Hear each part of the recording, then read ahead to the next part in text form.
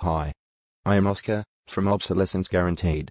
This video is about my Kim Uno, a small replica of the classic Kim 1 computer.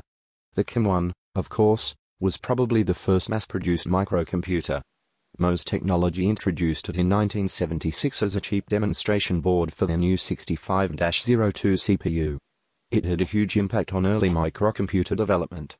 The Uno is open source hardware. The design files and software are on my website. On that site, you can also check if I still have kits available. But this is a not-for-profit hobby project. Building an Uno should cost no more than $10. Of course, it must be cheap because it's not exactly a powerful computer. But it may still be interesting if you want to experience working with the very earliest microcomputers. Or if you want to learn about how microprocessors really work. Although the Kim offers a reasonably comfortable programming environment, you are working straight on the bare bones of a microprocessor, with nothing in between.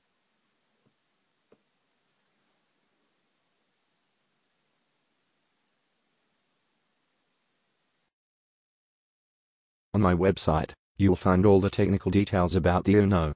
In short, it was designed to be a true Kim 1, with some additional software and features. A simple gadget like this must be cheap to justify itself. So I aimed to build it as cheaply as possible. An Arduino Pro Mini is the heart of the Kim Uno. It is supported by 24 buttons, 11 resistors and a segment LED display. All the parts are available on eBay, or sites like dx.com. If I run out of kits, you should be able to scrounge the parts together for about $5 in total. The design files for the circuit board are on my website. You can send these files to a PCB designer like Seeed Studios, who will mail 5 pieces back for $26. So yes, this is definitely a cheap computer. But a truly vintage one. The Kim Uno has some of the most interesting 6502 software of that early period built into its ROM so you can experience some of the earliest software tools written by people such as Steve Wozniak, Jim Butterfield and Peter Jennings. Beautiful, minimalist software dating back to a period when microprocessors had only been in existence for two or three years. But you can also play chess on it, or use it as a programmable calculator. Software archaeology. Let's dive into the wild 70s. Let's start with a freshly booted Kim Uno. Here, I enter the address 0200, where you normally start a Kim1 program. Then, I press go to run the program. Never mind what this program does, but if I go back to 0200 and press the plus key to step through the instruction bytes, all you see is hexadecimal machine instructions.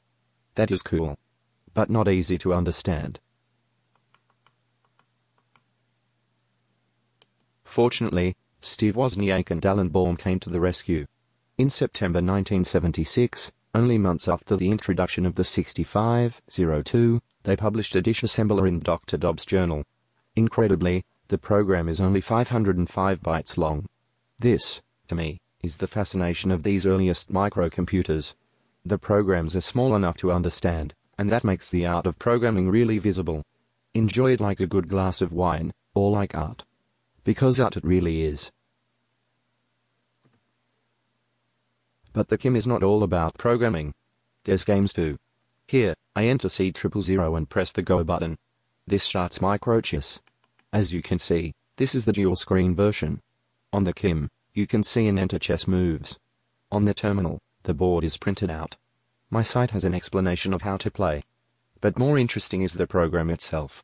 All it needs to play chess is 924 bytes. Yes. Bytes. Peter Jennings wrote this game in 1976. It is the very first commercial games software ever. But imagine having no assembler, no software tools and no access to information other than the manuals.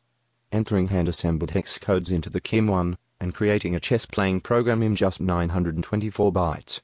Less than 7 tweets could contain all that complex logic. It's surprisingly hard to do mathematical calculations on a CPU. A lot of the earliest programming was to deliver good floating point code. A real Kim cannot show decimal points on its display, and that was a bit of a showstopper. However, the Uno does have these decimal points on its display. So it makes sense to have a floating point library built in. Any program can use it. But alternatively, the Uno can also be used as a more or less simple calculator. With that introduction, The last feature I'd like to show is calculator mode. It's still under development and a bit clumsy.